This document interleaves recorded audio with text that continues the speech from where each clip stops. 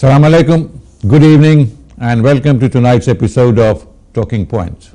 I'm your host, Syed Neaz Ahmad.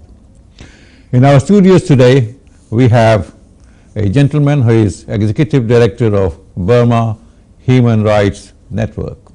He has been our guest before, but with developments taking place every day, every night, and the situation of the Burmese uh, refugees in bordering countries uh, is getting not better, we hoped, but from bad to worse, you see.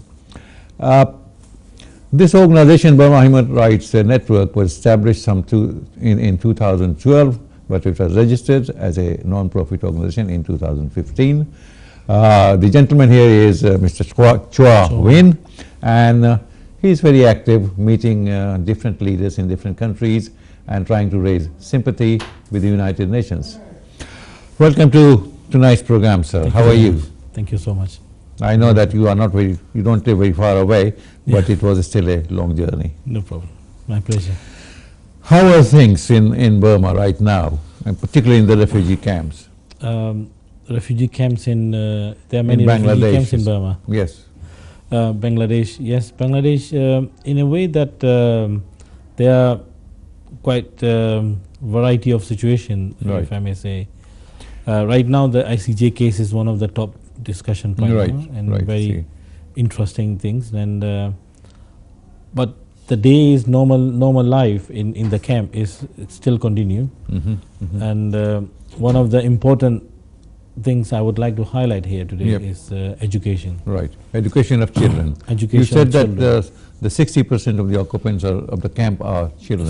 60% of occupants are children, and also now it is two years already there in the camp, Yep. and more than two years. And Mhm, uh, mhm. in this meantime, there are more new birth, new True, newborn true, children. True. It's a natural process. Yeah, it's a natural process, and there are people's children are growing up. And one of the dangerous point what we see here is um, children and youth Yeah, bringing up without education. right. These are the real threat for the for the security. Is, is there no program at all to keep them busy, to teach some, them something, There even, even vocational training? Uh, there are very tiny percentage of uh, to cover tiny percentage of the population. Mhm. Uh, there's a small madrasas, religious schools, Yeah, and there isn't proper schools yet. Right. So this is one of the very worrying sign for us. What, what we see here is they are we are not sure when they are going back, Mhm, mhm. right? But we are all trying our best Right. because they should deserve to go to return back to their home, right? To to get to, to be protected, to be the digni, digni, dignified Right, way, right. and and with their dignity, and also one of the important thing is the accountability in what is Right. going on in Burma.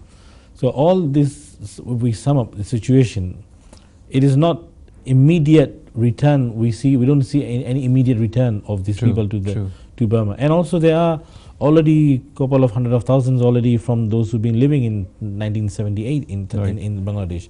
So there are refugee population is growing up, Mhm, and they need educations, and this is because of the. Uh, it is. It doesn't mean that they, they will never return to Burma if they get education. Right. Actually, it, it will assist the economy. Once the population has education, and they have everything. They can move to other countries with proper education, proper training. Yes, but the thing is, uh, the, to, to, to go to the third country, uh, I think Bangladesh government need to uh, arrange them for help them with the discuss with the UNHCR, Mhm. and and also the population right now is um, uh, starving of the educations. You Mm, know, yeah. that is a very um, worrying sign. Right. Uh, uh, just to go back a little bit uh, in, in, in terms of time, see, just to tell our viewers what is the real problem? Why did it start? And when did it start? And the Muslims have been living in Burma for centuries. for several centuries, of course. Uh, if you look at the who, who are the Rohingyans? the Rohingyas, the if I pick up the one of the scholar, Yeah.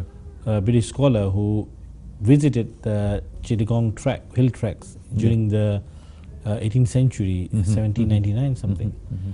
He described the people as the people of uh, Mohammedans, meaning Yeah, Muslims, Muslims, yeah. and they called themselves Rohang people. Yes. and they are living. They are with the dark skin, and they are Mm-hmm. living in a in a Chittagong hill tracks. So that means they are they've been living existing There for those centuries, for centuries. centuries, and also there. Look at that region. There is many times there are war and the refugees. It's not the first time it happening. Mm-hmm. It's several centuries. There, uh, you know, there are more than hundred years. The uh, Arakan kingdom controlled Chittagong side, and there are 200 years Chittagong side control Arakan side. And during the Burmese annexation, there were hundreds of thousands of people, uh, you know, fled Burma and, and Rakhine Kingdom, and then they shelter in Bangladesh in Chittagong, and there were during the British colony time as well. So there are a lot of changes happening in this uh, uh, movement of the populations between these two countries, uh, very very quite frequent. So, but in the history, right? But in in, the, in a way that uh, um, the border only happened after the independence. Yep.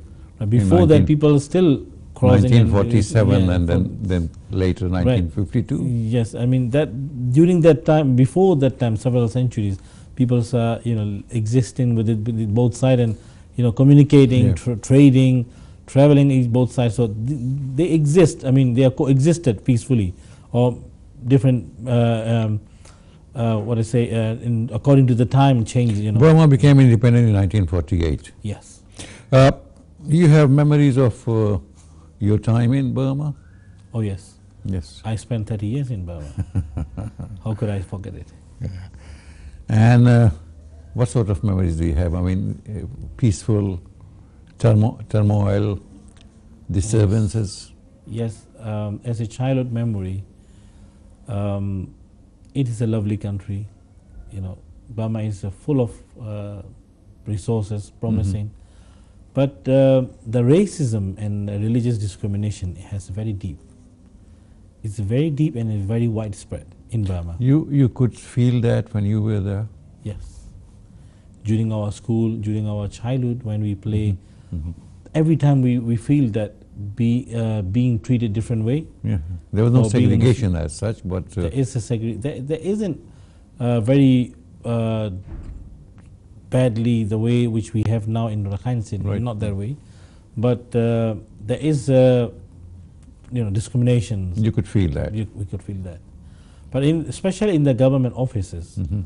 if you go the moment the moment they know that you are Muslim, then Mhm. the treatment is totally different Right. and you need to pay more bribes. You need to Yes. treat. You need to you know um, uh, treat them very special. Otherwise, you know you you'll be ended up in trouble. But there was, I mean, I know segregation was there, discrimination was there, and probably, in, in a way, it was racism Yeah. or religious uh, mm, Islamophobia, as they say. Yeah. But uh, there was no killing, no raping, no torture, nothing like that. There is. There was. If you look at the 1942 in Rakhine State when Japanese came, there were more than 100,000 Rohingya were been slaughtered Yep. But that was during the war, isn't it? during the World War II.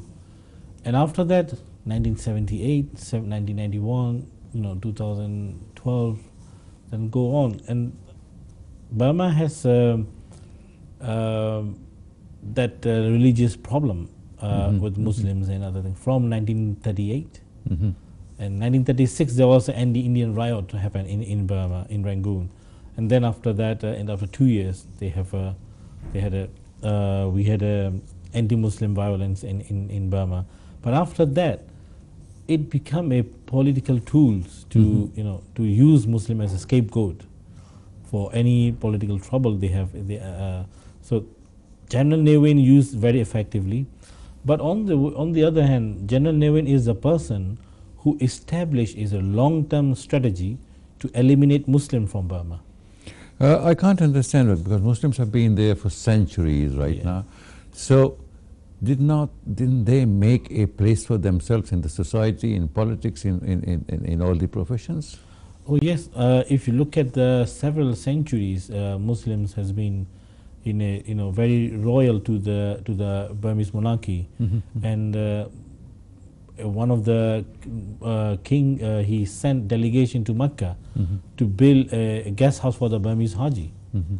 So, so that that kind of relation we have, you know, Muslims in Burma as a uh, you know recognized as a, one of the close et- uh, ally and ethnic of Burma, and also very they, they, they enjoyed a lot of uh, uh, high position during the uh, during the Burmese monarchy. hmm But things changed after that. After British rule and after the independence and and one of the key thing thing uh, we uh, we, as, we assume that um, during the independence movement, Yeah. nationalism is one of the driving force.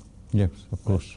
But the moment when we get the independence, we need to divert this, but and we need to we need to come up with a different ideology and interpretations Yes. to nation building. Right. But it never happened in Burma. hmm So the moment we got in, uh, uh, independence, they tried to go towards the Buddhist nations. Right. In That 1948, independence, but in Yeah. 1962, military dictatorship. Yes.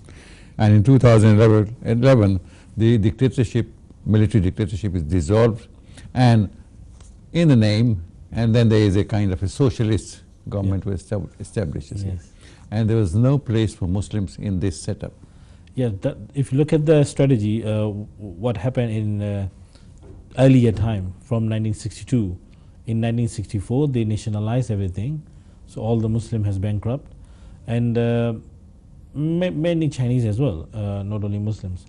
And the earlier the strategy was to exclude Muslim from the government structure. Mhm.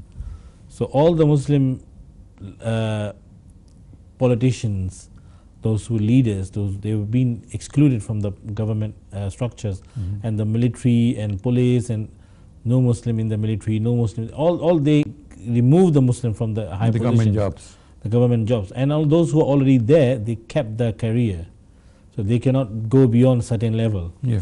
And after that, there isn't any Muslim anymore. And in 1982, they drafted 1982 citizenship law. Mhm. And this law is a enabler of the genocide. This law make possible to commit genocide for that. You know, there's a very, uh, this law is a very dangerous law that create uh, a lot of problems for the Muslims. What they did was uh, they en- delisted Muslim from the uh, from the ethnic from ethnic of Burma Mhm. and they degraded the, the citizenship level, you know, the third class citizens of, uh, of Burma. So, because of 1982 citizenship law, um, Muslim lost ethnicity and lost a lot of citizenship rights. And gradually, gradually, now we have uh, in some area in Burma, there are 70 to 80 percent or 90 percent Muslim population has no citizenships. That means this is a potential They have no rights. there is a potential statelessness Mhm. still going on in Burma. And Well, these uh, are the indicator of the genocide. Mr. Kyaw, we'll, we'll have to take a break here. Sure. And then when we come back, we'll retrace our steps back to Rohingyans and Burma. Thank you for being with us. Uh, we'll be back soon after this short break. Thank you.